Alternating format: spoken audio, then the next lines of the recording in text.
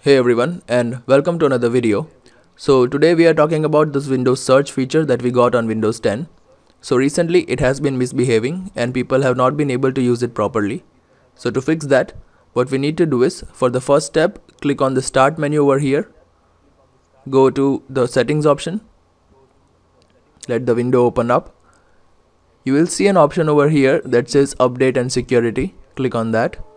On the left side you will see troubleshoot click that. Scroll down and you will be searching for an option that says search and indexing.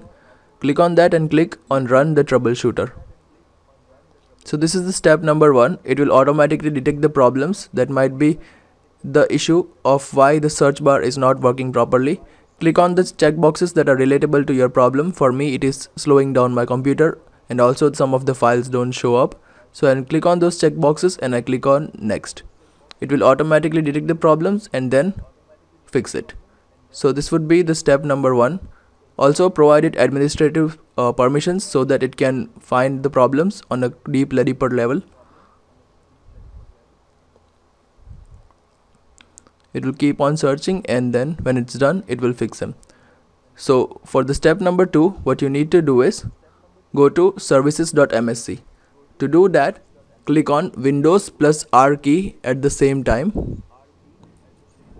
You'll see a small window like this open up. In that small window, what you have to do is type services.msc. Click on OK and you'll see another window open up.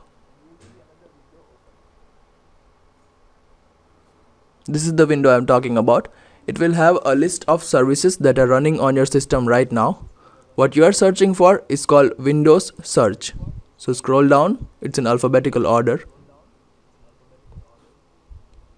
You'll see an option that says Windows search. You'll see next to it you can see it is running. So that's good.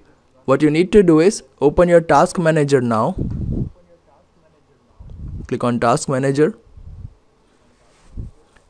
In the task manager you will have to search for option that says search and Cortana. So let's just search for that. Here it is.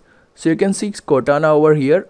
Click on Cortana, then hit the delete button or you can do is right click and click end task. So this will end the Cortana task and restart it. And then you can see over here just to make sure that the Windows search is running again if it has stopped for any reason what you do need to do is restart it by clicking this service.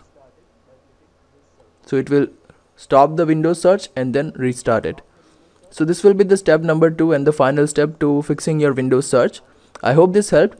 If you like this video click on the like button below. And if you are new to the channel click on the subscribe button and have a good one